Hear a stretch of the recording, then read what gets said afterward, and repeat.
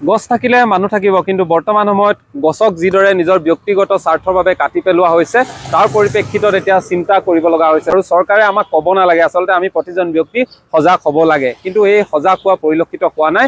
নিজৰ ব্যক্তিগত স্বাৰ্থৰ বাবে গছ গছনি কটাও এটা পৰিলক্ষিত হৈছে। বৰ্তমান সময়ত এই গছজোপা দেখিছে নাজিয়া কলেজ তিনিআলিত থকা গছজোপা বহু বছৰ ধৰি ইয়াতেই আছে দুখনকৈ দোকানক তেওঁলোকে প্ৰটেকশ্যন দি আছিলে বা যি নহওক এই গছজোপাই আমাক যথেষ্ট সহায় কৰিছে। বৰ্তমান সময়ত যিদৰে গৰম বাঢ়িছে তাৰ সমান্তৰালভাৱে কিন্তু নিজৰ ব্যক্তিগত স্বাৰ্থৰ বাবে গছজোপা দুষ্কৃতিকাৰীয়ে কাটি পেলোৱালে আৰু তাৰ পাছত এতিয়া ইয়াৰ নাজিৰাৰে ভাস্কৰজ্যোতি মহন্ত যি কাৰ্টুনিষ্ট তেওঁ কিন্তু কাৰ্টুন অংকন কৰি এইদৰে প্ৰতিবাদ সাব্যস্ত কৰিছে বা এইদৰে তেওঁ সজাগ কৰিবলৈ চেষ্টা কৰিছে যাতে গছ থাকিলেহে মানুহ থাকিব। আমি গছক কিন্তু সন্মান কৰিব লাগে গছক আমি ৰোপণ কৰিব লাগে। তাৰ প্ৰতিগৰাকী মাতৃৰ মাতৃক স্মৰণ কৰি গছপুলি ৰোপণ কৰিবলৈ চৰকাৰে কৈছিলে কিন্তু তাৰ পাছত আমি কৰিছোঁ কি?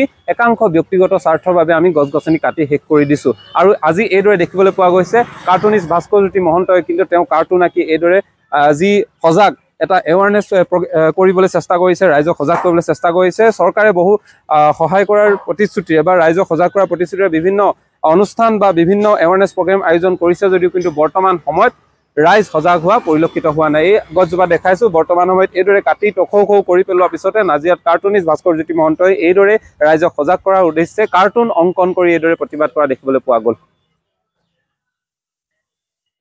হয় আমি কিতাপত পঢ়িবলৈ পাইছোঁ যে গছ থাকিলে মানুহ থাকিব।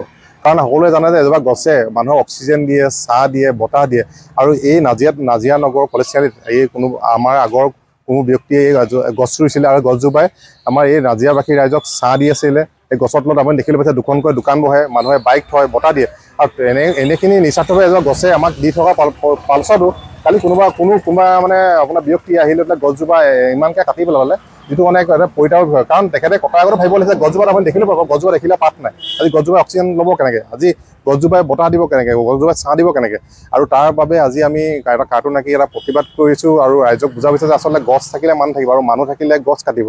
আৰু আৰু আপোনালোকে দেখিবলৈ পাইছে যে যি সময়ত অসমত অমিত বৃক্ষৰ আন্দোলন হৈছে যি সময়ত মাটিৰ মাৰ নামত এজোপা গছ ৰুবলৈ আহ্বান জনাইছে আৰু ইমান এটা ৰাইজৰ সজাগ কৰাৰ চেষ্টা কৰাৰ সময়ত এনেকৈ গছ কটাটো এটা মানে এটা অতি অতি লজ্জাজনক ঘটনা আমাৰ মানৱ সমাজৰ কাৰণে। আৰু এই কামটো চাগে আমাৰ কোনোবা উচ্চ শিক্ষিত মানৱে কৰিছে। আৰু সেই আজি আপোনালোকৰ মাধ্যমৰ যোগেদি মই এটা কথা বিচাৰিছোঁ সেই মানে যিসকল মই উচ্চ শিক্ষিত মানৱ মানৱ মানৱে এই কামটো কৰিছে তেওঁলোকক মানে জনা বিচাৰিছে যে আপোনালোকে এই কামৰ পৰা সদায় বিৰত ৰাখক। গছ ৰুৱক। আজি যদি এনেকৈ গছ কাটিবলৈ হয় আমি নতুন প্ৰজন্মক কি আদৰ্শ দেখাম? নে আমি অকল মানে পেপাৰে পত্ৰৰে মানে মিডিয়া অকল শ্লোগানে চলি থাকিব নে গছ থাকিলে মান থাকিব গছ থাকিলে মান থাকিব। আৰু আৰু আজি এই কাৰ্টুনৰ যোগেদি মই আহ্বান এটাই কাৰ্টুনত মই এটা বস্তু মানে দেখাইছোঁ যে গছজোপাই এজোপা গছে ইজোপা গছক কৈছে যে যে চাহ মানে মানুহবোৰ বহুত স্বাৰ্থপৰ। গছজোপা ৰোৱাৰ আগত কেমেৰা ফটো মাৰে কিন্তু গছজোপা ডাঙৰ হ'লে কাটি পেলায়। আৰু সেই ঘটনাটো এই গছজোপাৰ ক্ষেত্ৰত মানে হৈছে পৰিলক্ষিত হৈছে। আৰু মানে আৰু এনেকুৱা ঘটনা যাতে পুনৰ নঘটক ৰাইজক সজাগ কৰা উদ্দেশ্যে আজি এই পদক্ষেপটো হাতত লৈছোঁ।